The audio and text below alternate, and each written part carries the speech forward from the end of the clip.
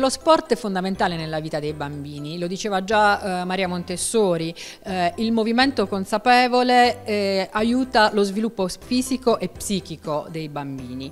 e, e, questo per noi è fondamentale. Matera Sport Academy come noi pensa che lo sport sia importante per far crescere il bambino eh, con il movimento consapevole, quindi il bambino che eh, scopre lo spazio intorno a sé, eh, scopre la propria corporeità e eh, con lo, la scoperta anche delle, lo, delle, della, delle, regole del gioco, quindi col fair play, scopre anche il rispetto di sé e degli altri, quindi possiamo toccare i vari campi di esperienza previsti anche dalle indicazioni nazionali che sono appunto la scoperta di sé, la scoperta del mondo e anche educazione alla cittadinanza. Ci si avvarrà di professionisti del settore, chiaramente è prevista anche la collaborazione dei docenti.